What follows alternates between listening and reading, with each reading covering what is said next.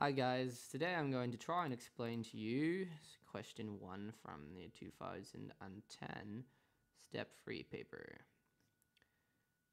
Uh, this has taken me a number of attempts to get this right. First step, duration of video I've done in a while, so let's see how this goes. Notice that the question is asking you to link the arithmetic mean and variance of n fixed real numbers with the arithmetic mean and variance of n plus 1 fixed real numbers. If a bit of uh, bit of looking, you, you might realize that those expressions are, yes, the mean and the variance. The first part of the question asks us to find an expression for c in terms of a, x to the x n plus 1 and n. Um, okay, well, that, that seems okay to do. I guess first of all, we've got to realize that c is n plus 1 over n plus 1 of the summation. Now, I, I mean, how are those summations linked should be your question. How can I write this summation in terms of that summation? Well, if you think about it for a second, you'll discover that actually I can write it up to n here. And then the last term is just going to be x n plus 1.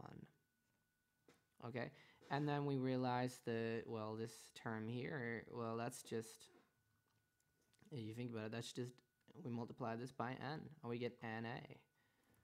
Okay, so we get a nice expression for c there. That's just 1 over n plus 1 multiplied by na plus x n plus 1. So yeah, part, part 1 of the question is pretty general. Um, any, any slips there, um, I guess just make sure your notation and algebra are, are neat the whole way through. And, you know, note down C, we'll need to refer this at some later point. Part 2. Well, this is B is given by that expression here.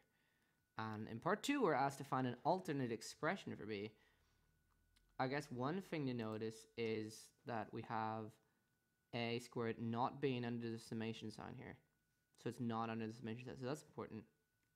Um, but let's write down the b that we know and then work with it and hopefully we can figure out that, yeah, it's just equivalent to that. Okay, so I believe it is 1 over n times, yep, so we're given xk minus a all squared. Alright, well, I don't know if you've ever worked with the variance before to show it was equivalent to to some other expression, but this is exactly what we're doing here.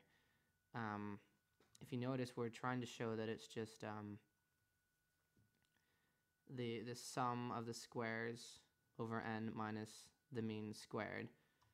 Um, you may have done that before in a stats module or something, but even if you haven't, it's okay. You know, we, we can get to this um, pr pretty similarly. We see that this, like if we expand the squared expression now, what we're going to get is xk squared minus 2a xk plus a squared. So we're going to have that. And, you know, applying the summation to each of those terms. We're going to get this um, as our first bit, then we can notice here that there's some constant terms that we can take out. So minus 2a would be one of those. So we're just going to have minus 2a over n multiplied by this summation. Okay, and then on the last summation, we'll notice we're just, it's 1 over n, and then we're summing a squared, and we're, we're summing that n times. So what is a squared plus a squared plus a squared? What is that n times? That's just n times a squared. Okay, and you'll notice that this expression, you know, 1 over n times this, this is just a. So in fact, we have minus 2a squared plus a squared. And um, over here, we just have that. And this equates to minus a squared. So that's that's it. You know, we get exactly what we wanted in the question. Um, so that'll give us our expression for b.